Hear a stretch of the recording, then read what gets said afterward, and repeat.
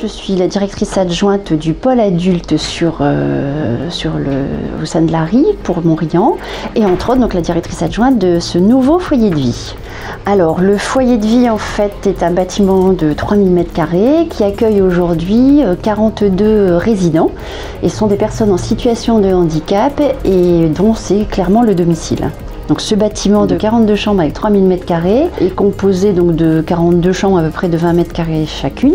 L'objectif ça a été en tout cas de le construire avec toutes les notions de développement durable chères donc à l'association euh, LARI, l'association régionale pour l'intégration, et entre autres son implantation au sein de la ZAC qui se veut quartier euh, écoquartier.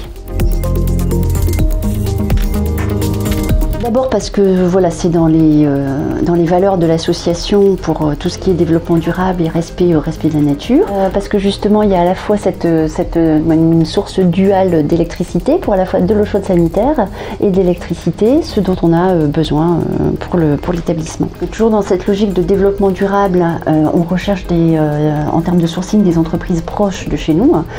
Ça a été également un choix économique puisqu'il y a une vraie rentabilité derrière, puisqu'on on, on autoconsomme la totalité de l'énergie que l'on a produite. Donc on produit sur place et on consomme sur place. Un vrai circuit court. Pour nous de manière assez transparente, mais avec des interlocuteurs euh, variés, puisque Dualson est intervenu, mais également euh, d'autres sociétés, avec toujours en tout cas une volonté de bien faire, une rapidité d'intervention, et euh, parfois dépassant même leur champ d'action qui était défini au départ pour faire en sorte que l'installation puisse fonctionner.